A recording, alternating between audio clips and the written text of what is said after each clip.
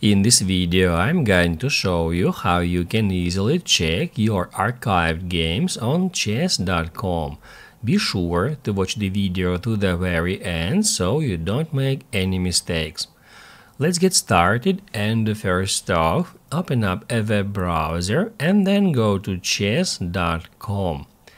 After that, make sure you are signed into your chess.com profile and then just uh, hover your mouse right here where it says play and then click add archive.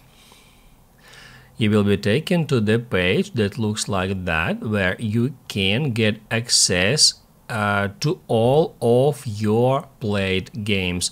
Now I have 109 games and I can scroll down until I find any one uh, any game that I want to review.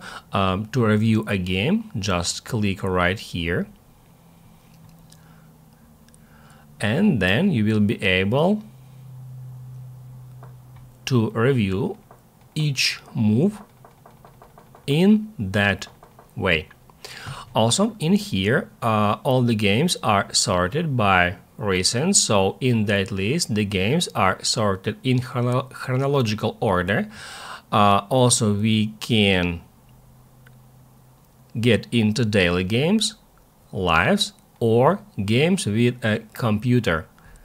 Also, we can use all that filters to search for a specific game. If this video helped you out, don't forget to hit the like button.